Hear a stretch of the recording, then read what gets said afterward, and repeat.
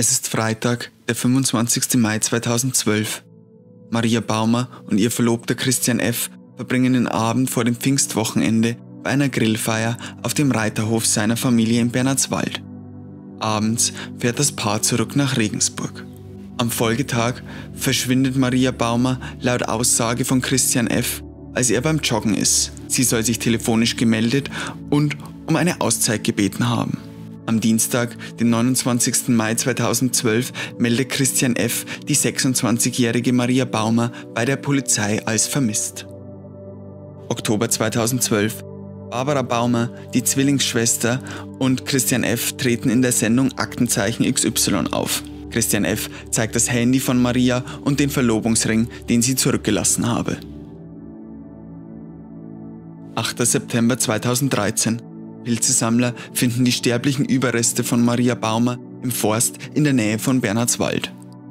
14. September 2013. Christian F. wird als dringend tatverdächtig in Untersuchungshaft genommen. 6. November 2013.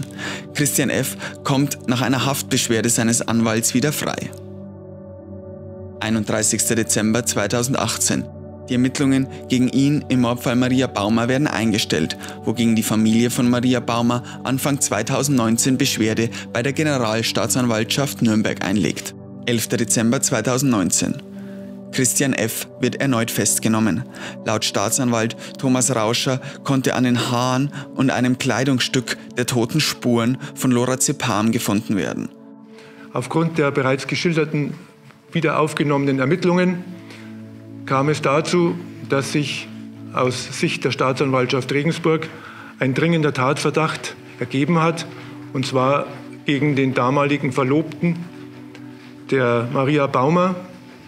Dieser dringende Tatverdacht hat dazu geführt, dass die Staatsanwaltschaft Regensburg einen Haftbefehlsantrag beim Amtsgericht Regensburg gestellt hat unter dem Vorwurf des Mordes. Der Ermittlungsrichter am Amtsgericht Regensburg hat diesen Haftbefehl antragsgemäß erlassen. Der Beschuldigte ist dann auch festgenommen worden und nach Vorführung vor dem Ermittlungsrichter in die Justizvollzugsanstalt eingewiesen worden. April 2020. Anklage wegen Mordes wird gegen Christian F. erhoben.